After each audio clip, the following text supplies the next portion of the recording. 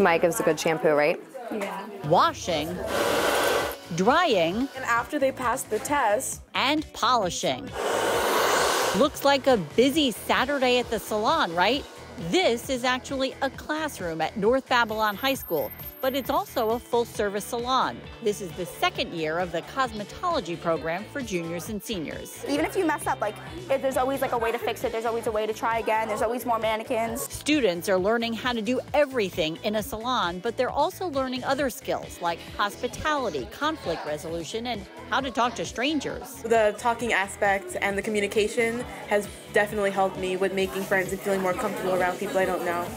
Former salon owner and now teacher Abby Santora has more than a decade of experience in the field. I think the trades used to be really big, and then we kind of got away from it. And now I think I'm starting to see them return, and I, I really couldn't be happier. Now, in addition to passing this class, students need 1,000 hours of practical, hands-on experience before they can sit for the New York State licensing exam. What if I marcel the bottom and one on the top?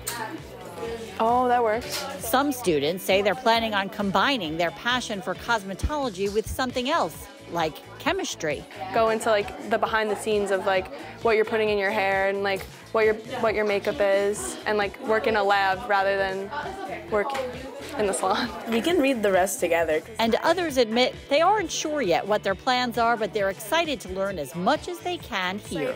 Even if it's not my main thing, I know that I'll always pursue it in some way, even if it's just like on the side. The Bulldog Salon is open to the community on some Saturdays, so you can head in and experience it for yourself.